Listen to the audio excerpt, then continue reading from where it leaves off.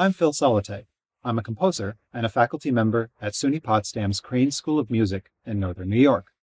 I am also the co author of Pink Floyd, BBC Radio, 1967 to 1971, with my friend and colleague Ian Preston.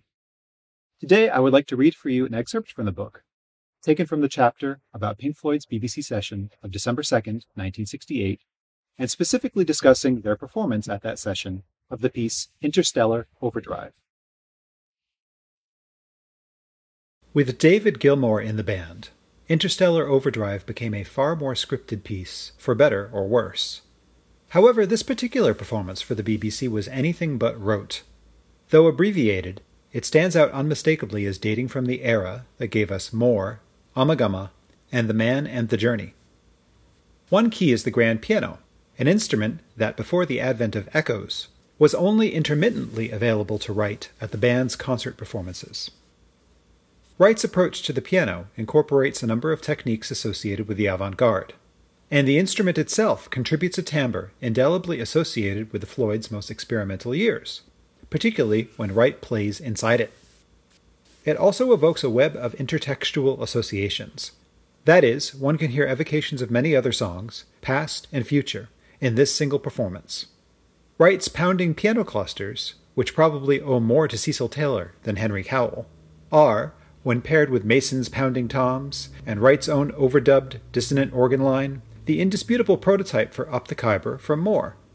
His low piano notes in the song's introduction, unique to this version, are evocative of the speed shifted, warbling piano tones that mark the truly odd take one of Syd's Silas Lang.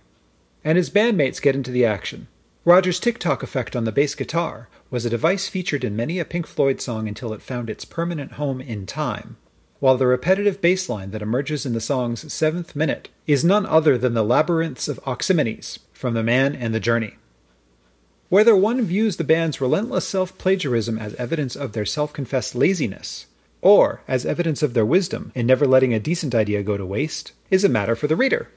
For us listeners, it means that this interstellar overdrive conjures an image of the band at a very specific place and time, still trying to find its feet in some ways, but clearly developing strategies to allow them to continue as a going concern, both artistically and financially.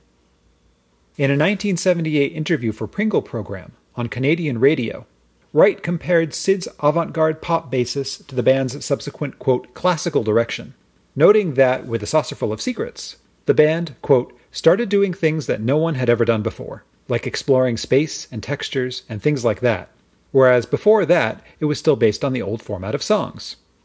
While one might argue rather vehemently that Syd's Floyd was doing plenty of exploring space and textures, the more interesting point is Wright's awareness of the relationship between the band's subsequent direction and the large scale, formal architecture characteristic of classical music.